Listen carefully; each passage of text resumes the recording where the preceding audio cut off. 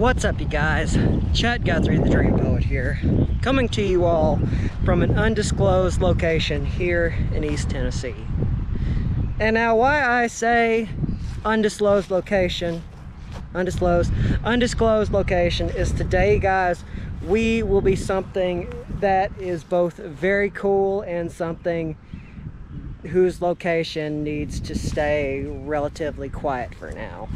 And what that is, you all might be asking, well, they are two dinky locomotives that have been abandoned here in this small town for quite a while now. And these trains have a very bizarre story to go along with that. Actually, we are walking along the same railroad bed that these two trains used to go back and forth with all the time back up until the 1930s. The year was 1934. I believe it was 1934. And there was a gentleman who owned and operated this town. Um, anyway, he had a really big issue with FDR. You see, if I'm not mistaken, he did not want FDR to get back in office because he was about to establish what will to be today known as a minimum wage. And now, well, this minimum wage made this gentleman who owned these railroad or these locomotives very angry. He did not want to have to pay a minimal for his workers. He wanted to pay them what he wanted to pay them. But that election year came and Franklin Delano Roosevelt once again got into the office of President of the United States. And this, the owner of these two trains said, I will shut this city down. I do not want FDR here. I will shut this town down. And so what he did is he took these trains and he put them at this undisclosed location. And they have been here ever since, since the 1930s. Uh, so pretty much they've been here probably for a little over 100 years now. And a cool fact about where we are right now and where we're walking, this uh, this old, uh, well, I won't say old, this um, recreation track or this uh, little recreation road, this road right here was the original train bed that these uh, trains went on. Back there at the park, that is some of what is left over. Well, what was the railroad railroad bed now i did see that there was that uh, that big open piece of track. I'm really really hoping that this town here in east tennessee will take it and put one of them on those tracks because when you see what i'm talking about these trains should not be where they are at right now. They are pieces of history that will baffle you. Out here along the uh, the roadbed I did find this this is the bridge that uh, the train used to go on top of. I don't believe it's the train tracks because that looks like this has been a creek here since the beginning of time. So I kind of doubt that this was the train tracks. But seriously look at that. It's got an echo to it. Kind of see where uh, the new road meets with the uh, the old one. You know, it's amazing. It's amazing to see old or old foundations compared to new. And you guys, it looks like we have found it. We have found the remains of these two trains that have been in here since the 1930s. Since the gentleman who saw that uh, FDR won a second term. This is where he took them. He took them, he barred them up. He said he was going to shut down the town. Only, well, that didn't exactly happen.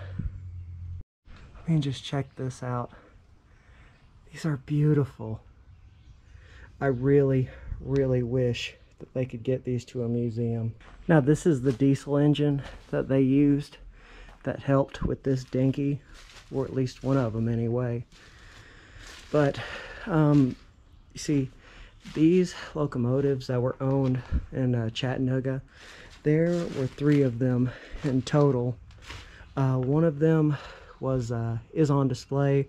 I forgot exactly where, but these these are practically untouched by the hands of time. I mean, it's just absolutely crazy that they are still here. Oh my god, this is incredible.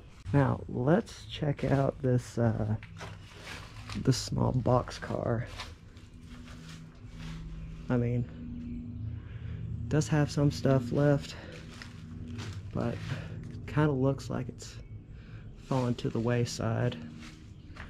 But, I mean, honestly, I'm surprised that these have remained in here without really the rest of the world knowing about it.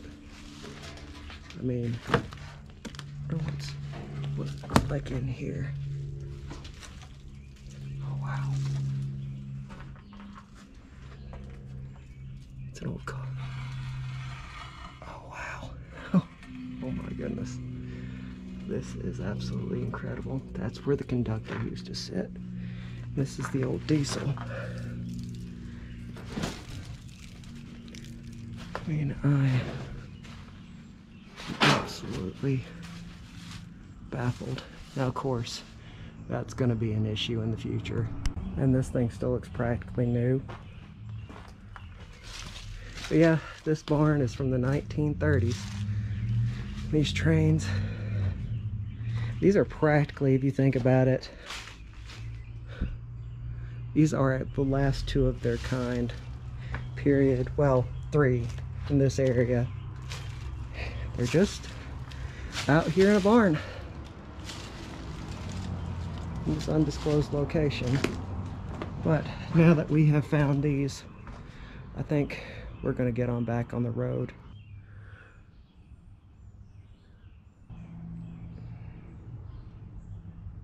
That was absolutely mind-blowing.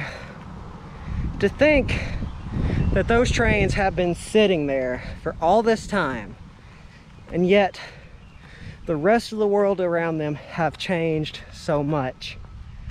It's absolutely it's baffling and I mean it's very sad. Um, now again this is an undisclosed location.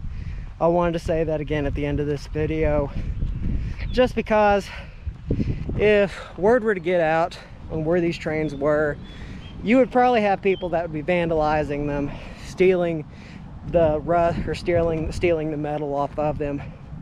So, having said that, whoever sees this video, whether those who know where they, these trains are at or not, please, please, I plead with you, please do not damage these trains. These trains need to be in a museum. They don't need to be there dying in that that uh, that barn. They don't need to be there. Now I do know a little bit of who owns them. I guess I just wanted to say it again. Please, I plead with you, let some, let a museum or let a a park take these these trains and take care of them. They deserve it. They deserve to be loved and cherished by, cherished by everybody. But having said that, this is going to be the end of my vlog. Remember, don't forget to subscribe and hit the bell icon. Always means a lot. Goes to show that y'all care and y'all want to see more videos. So having said that, vlog over.